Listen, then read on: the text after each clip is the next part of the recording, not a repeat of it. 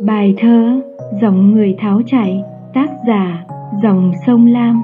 Kính chúc quý vị và các bạn sức khỏe và an lành. Hãy nhớ nhấn like và đăng ký ủng hộ động viên kênh. Trân trọng cảm ơn.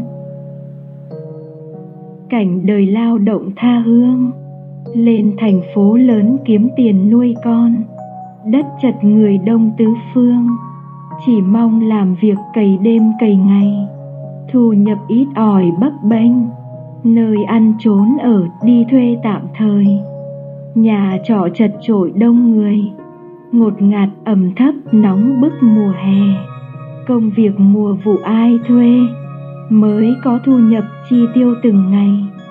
Dành dụm chẳng có tất tay, gặp mùa dịch giã duy trì làm sao?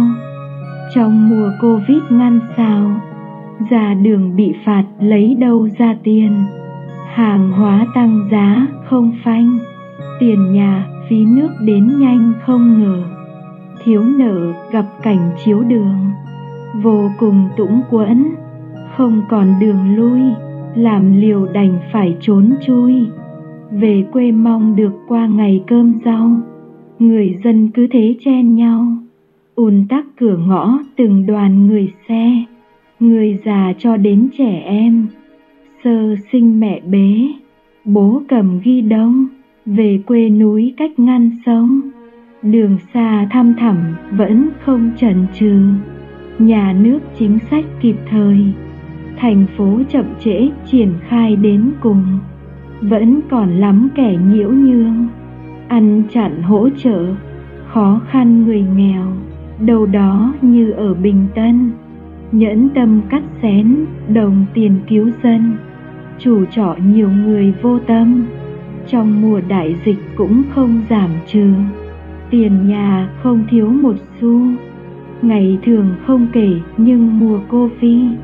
Từ trên xuống dưới tham gì hỗ trợ chút đỉnh duy trì năm sau. Lực lượng nhập cư rất đông, đóng góp rất lớn cho thành phố ta chủ nhà cần có người thuê.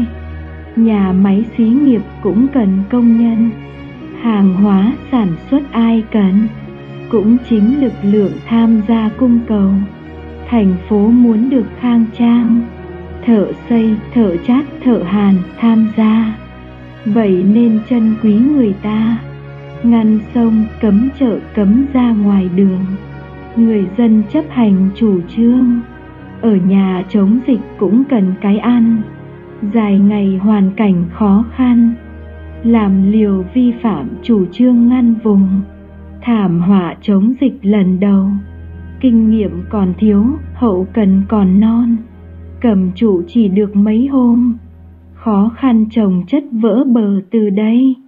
Thành phố rút kinh nghiệm ngay, hậu cần phải đủ sẵn sàng giúp dân chống dịch sẽ sớm hoàn thành.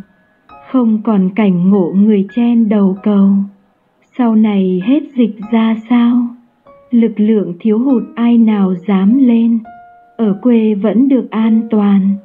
Bám trụ thành phố, muôn vàn khó khăn. Tìm một công việc làm gần. Tâm lý lao động phần nào đổi thay? Lao động hụt thiếu chắc tay thành phố sẽ gặp khó khăn lâu dài. Mong rằng có chính sách ngay. Thu hút lao động quay về chốn xưa. Phải biết trân trọng yêu thương. Người dân lao động nhập cư thế này.